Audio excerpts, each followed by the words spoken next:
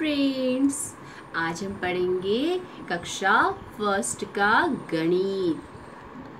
पहला पाठ। पहला पाठ हमारा क्या है? हमारे आसपास की आकृति। इससे पहले भी हमने एक पाठ पढ़ा था। आज हम पाठ टू पढ़ेंगे हमारे आसपास की आकृति।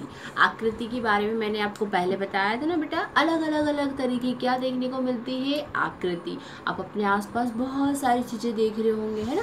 सबकी आकृति क्या है? भिन्न भिन्न अलग अलग अलग यस, देखिए यहाँ पर जैसे हम यहाँ पर कुछ सामान अपने पास है तो देखो ये सामान में सभी की आकृति कैसी है? अलग अलग है। जैसे देखो ये क्या है बेटा? नारंगी, फुटबॉल टमाटर, गुब्बारा बॉक्स आपको अलग अलग अलग अलग तरह के बॉक्स नज़र आ रहे हैं ना? तो ये देखो, इसकी आकृति कैसे दिखाई दे रही है आपको? कैसी आकृति दिखाई दे रही गोल वेरी गुड ये गोल है ना? एकदम गोल, मम्मी की रोटी। गोल गोल तो वैसी गोल गोल आकृति है या नहीं है? फिर ये देखो, ये कैसी आकृति दिखाई दे रही है बेटा आपको? बॉक्स जैसी आकृति दिखाई दे रही इसको हम बोलते हैं वर्ग। क्या बोलते हैं? वर्ग। अब यहाँ पर क्या कहा है?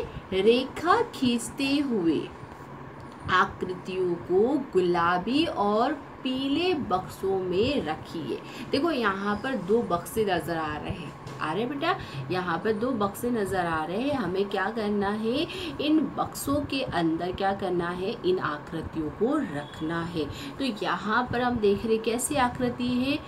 गोल। तो अब हमें क्या करना है? रेखा खींचनी। तो चलो सबसे पहले हम क्या करते हैं? इस बलून को इस पीले बक्से के अंदर रखते तो ये पीले बक्से के अंदर क्या आ गया? हमारा बलून। फिर इस टमाटर को भी हम क्या करते हैं? पीले बक्से के अंदर रखते हैं, क्योंकि एक जैसी आकृति वालों को क्या करना है? एक साथ रखना है।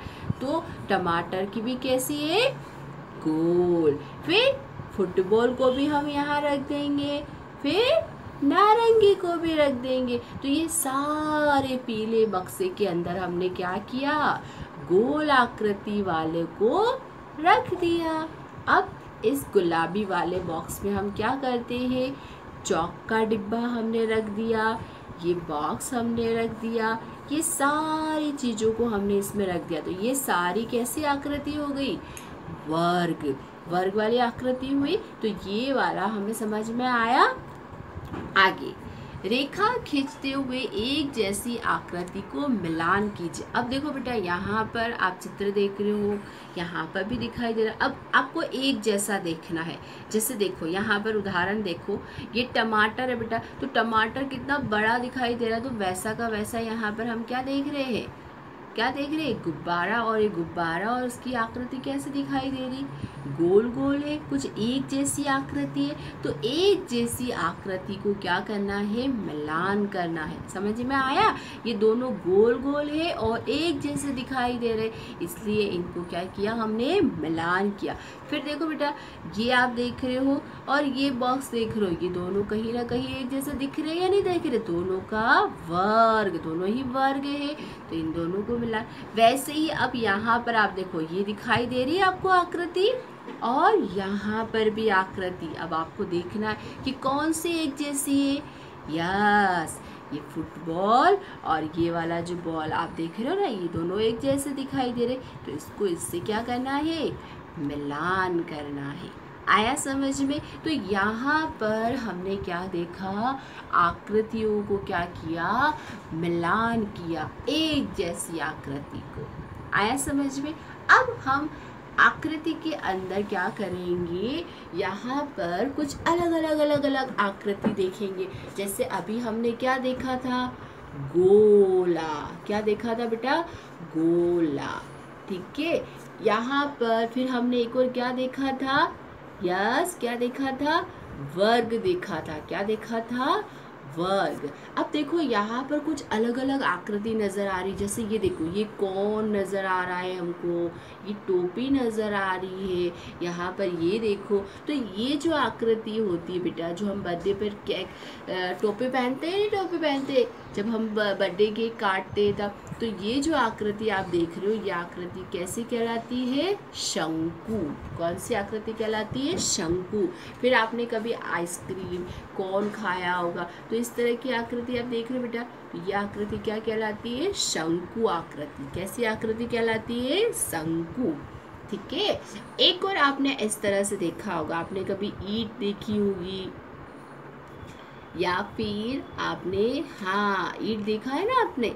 बिल्कुल। तो ये जो ईट जैसी आकृति आप देख रहे हो बेटा तो ये कौन सी आकृति कहलाती है? आयत। इसको क्या बोलते हैं हम? आयत। समझ में आया?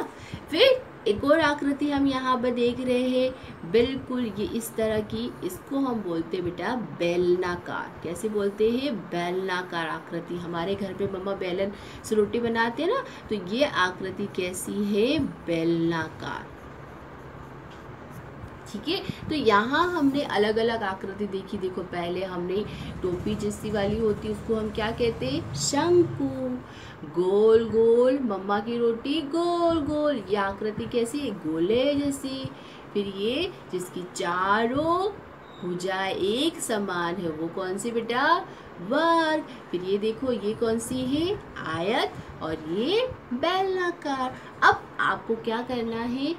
एक जैसी आकृति, आकृतियों से मिलान करते हुए आकृतियों को छाटना है। यहाँ पर आप देख रहे हो, यहाँ पर एक बॉय एक लड़का इसके पास क्या है?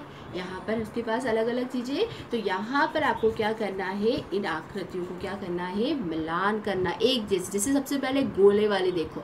तो गोले वाली कहाँ कहाँ नज़र आ रही है?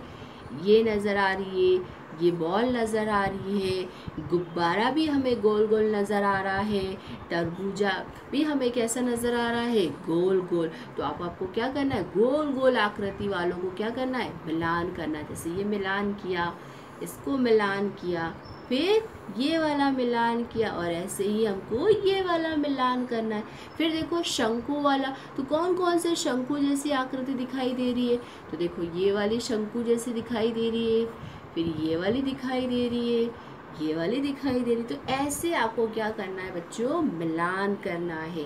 फिर यहाँ देखो, ये कैसी है? बेलनाकार आकृति। तो बेलनाकार का नज़र आ रही है? देखो, ये बेलनाकार नज़र आ रहा है। बॉटल हमें बेलनाकार नज़र आ रही है। फिर यहाँ पर हमें मोमबत्ती बेलनाकार नज़र आ रही है। फिर ये देखो, ये फटाका हमें बहुत दिखाई दे रहा है। तो ऐसे आपको क्या करना है? आकृतियों को देखकर मिलान करना है। आया समझ में आपको? अब, अभी हमने आकृति जाना। अब यहाँ पर हम एक बहुत अच्छी सी क्या करने वाले हैं? कहानी सुनने वाले। चलो, हम यहाँ पर कहानी सुनेंगे। और ये कहानी है बुद्धिमान दादी की। एक मेमना था। एक कौन था बेटा? मेमना था। वह अपनी दादी माँ से मिलने जा रहा था। ये मेमना कहाँ जा रहा था? अपनी दादी माँ से मिलने के लिए जा रहा था। कृपया मुझे सॉरी जंगल के रास्ते में उसे एक कौन मिलता है? भेड़िया मिला। जंगल के रास्ते में उसे कौन मिला? एक भेड़िया मिला। तो उसको देखकर मेमना थोड़ा सा क्या हो गया? डर गया। मैं तुम्हें खाने जा रहा हूँ। ये भेड़िया क्या बोलता है कि मैं तुम्हें क्या करने वाला हूँ? खाने जाने, खाने वाला हूँ। मतलब उसको डरा रहा है। मेमरा क्या बोलता है? कृपया मुझे जाने दो। मैं अपनी दादी माँ से मिलने जा रहा हूँ। जब मैं वापस आऊँ तो मुझे खा लेना। मेमना क्या बोलता है? कि मुझे जाने दो जाने दो। मैं वापस आऊँ, फिर मुझे क्या करना? खाने देना। तो भेड़िया क्या बोलता है? अच्छा तो तुम जा सकते हो। फिर क्या होता है आगे? जब वह लौटने लगा तो उसने दादी माँ को भेड़िए के बारे में बताया। देखो, मेमना अपनी दादी से मिला और सारी बात मेमने ने किसको बताई अपनी दादी माँ को। कि दादी माँ दादी माँ, जब मैं यहाँ आ रहा था तो मुझे कौन खाने आया? भेड़िया। दादी माँ ने उसे क्या बताया? एक उपाय बताया मतलब एक तरीका बताया। चलो, अपने आप को इस ढोलक में क्या कर दो? छुपा दो। ये ढोलक है बेटा। इस ढोलक में दादी माँ ने, मेमने को क्या बोला कि तुम इसको, इसमें क्या हो जाओ? छुप जाओ। उसने ऐसा ही किया। किसने बेटा? मेमने ने। मेमने ने क्या किया? अपने आप को ढोलक में छुपा दिया। दादी माँ ने ढोलक को सड़क पर क्या कर दिया बेटा? लुढ़का दिया। दादी माँ ने क्या किया? ढोलक को सरका दिया। और जैसे ही सरका दिया तो ढोलक क्या? लुढ़कते लुढ़कते लुढ़कते। मेमने ने भेड़िए को अपना इंतज़ार करते हुए पाया तो रास्ते में क्या देखा उसने? सॉरी यहाँ पर ढोलक नीचे की ओर सरकने लगा। और क्या हुआ? रास्ते में क्या हुआ देखा आपने? कि मेमने ने भेड़िए को अपना इंतज़ार करते हुए देखा। जब मेमना इस ढोलक के अंदर था तो उसने क्या देखा? कि भेड़िया क्या कर रहा है? उसका इंतज़ार कर रहा था। क्या तुमने किसी मेमने को इस तरफ़ आते हुए देखा? नहीं। ढोलक ने क्या बोला? नहीं। मैंने तो मेमने को आते हुए नहीं देखा। भेड़ियों को शक हो गया कि वह ढोलक के पीछे दौड़ने लगा। भेड़िए को क्या हुआ? शक हुआ? क्या सुनकर आवाज़ सुनकर उसको क्या होने लग गया? शक होने लगा। तो भेड़िया क्या करने लगा बेटा? पीछे पीछे पीछे पीछे ढोलक के दौड़ने लगा। इससे पहले कि भेड़िया उसे पकड़ पाता, मेमना अपने घर पहुँच गया और उसने दादी माँ को क्या बोला?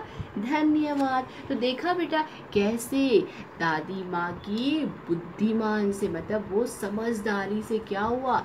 मेमने को भेड़िए ने खाया भी नहीं और वो अपनी दादी से मिल गया। तो किसी भी वस्तु को हम क्या करते बेटा? अगर सरकाते हैं, लुढ़काते हैं तो वो बहुत आसानी से क्या हो जाती है? पहुँच जाती तो यहाँ पर देखो, एक यहाँ पर आपकी दे रखी है, लुढ़काना। और सरकाना। तो देखो बेटा जैसे आप लोगों ने कभी आ, आप बगीचे में गए होंगे पार्क में गए होंगे तो कभी आप लोग जैसे कि स्लाइड पे बैठे होंगे राइट? तो स्लाइड पे बैठते तो हम कैसे उसके ऊपर से क्या होते? सरकते हैं नहीं सरकते? ऊपर से नीचे की तरफ़ फिसलते हैं। फिर आपने कभी कभी आ, जैसे बॉल लिया होगा गेंद ली होगी तो गेंद को आप ऐसे फर्श पे ज़मीन पर ऐसे करते हो तो क्या होती है वो लुढ़कती है? तो यहाँ पर आपको बताना है कि कौन सी वो वस्तु है जो लुढ़केगी पेंसिल, फुटबॉल, बटर या प्याज, इसमें से कौन सी वो वस्तु है जो लुढ़केगी? तो आपको ये करके देखना है। करके देखेंगे हम, किसी चीज़ को ऊपर रखेंगे और ऊपर रखने के बाद यहाँ से क्या करेंगे? लुढ़काएँगे। तो आपको देखना है कि कौन सी वो वस्तु है जो लुढ़कती है। आया समझ में? इसी प्रकार से आपको सरकाने वाली वस्तु भी खुद करना है। करके देखिएगा, बड़ा मज़ा आएगा। फिर यहाँ पर कुछ अलग अलग वस्तुएँ दे रखी है। इनको आपको देखना है कि कौन सी वस्तु सरकती है। जैसे यहाँ पर देखो, इस बॉल को लुढ़काया है, लुढ़क रही है, फिर यहाँ पर देखो, ये बॉक्स को क्या किया बेटा? तो इस तरह से आपको क्या करना है? लुढ़काना और सरकाना कैसे होता है, वो यहाँ पर करना है। ओके? Thank you.